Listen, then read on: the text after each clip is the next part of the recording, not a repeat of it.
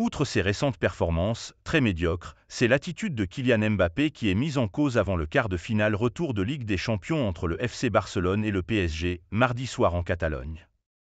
Kylian Mbappé doit être sceptique. Comme d'habitude, il sera attendu au tournant mardi soir à Barcelone, encore plus que d'habitude. Une semaine après sa défaite à l'aller, 2 à 3, au Parc des Princes, l'attaquant parisien ne devra pas s'éloigner du stade olympique de Montjuic pour ce quart de finale retour de Ligue des Champions. Sans cela, les opportunités de qualification du PSG, déjà peu élevées, seront encore plus limitées. Comment expliquer l'actuel coup de mou de la star des Rouges et Bleus? Pour Samir Nasri, le problème est à la fois physique et psychologique. Il y a des deux. Je ne pense pas que ça soit la gestion de Luis Enrique qui a pu l'affecter, a-t-il analysé dimanche soir sur le plateau du Canal Football Club.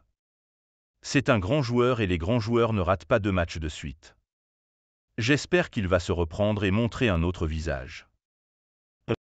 Nasri Cable Mbappé. Car au-delà du résultat, c'est également question d'image pour l'ancien prodige de Bondy.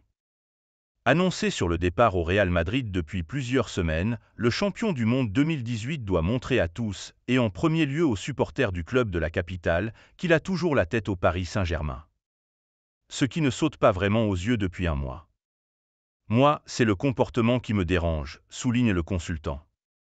L'ancien milieu de terrain d'Arsenal et de Manchester City s'interroge notamment sur l'attitude de Kylian Mbappé quand il est hors jeu dix fois et ne permet pas à son équipe de relancer son attaque.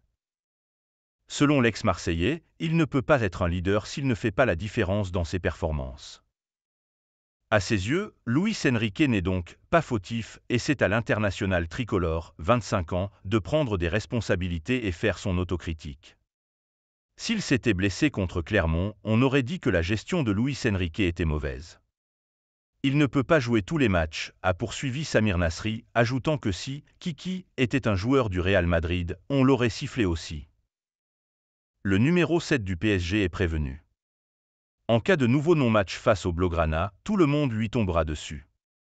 À lui de tout faire pour éviter un tel scénario et quitter Paris sans gloire.